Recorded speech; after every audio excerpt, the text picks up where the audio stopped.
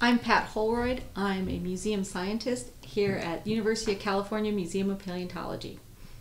My area of interest are animals from the time period of dinosaurs up through the beginning of the age of mammals.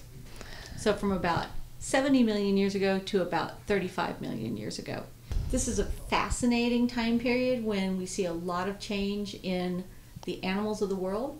Uh, there's an asteroid impact that caused extinction. We see recovery from extinction, and we see the effects of global warming. So, so many different ways we can study the past by looking at this time period.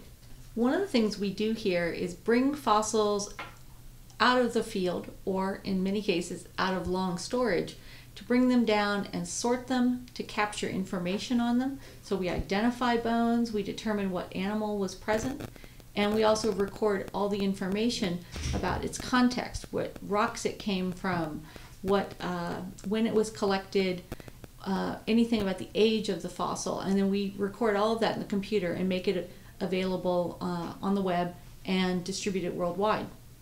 The story of life's history is worldwide, and we want to understand the big picture and the big context so that we can inform current conditions and understand about the future.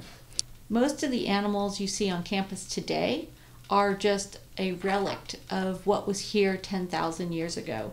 So 10,000 or 20,000 years ago, you would have seen mammoths and ground sloths here in California. And we know this because we have found fossils of them at isolated places here in the bay. They're beneath us, under the ground.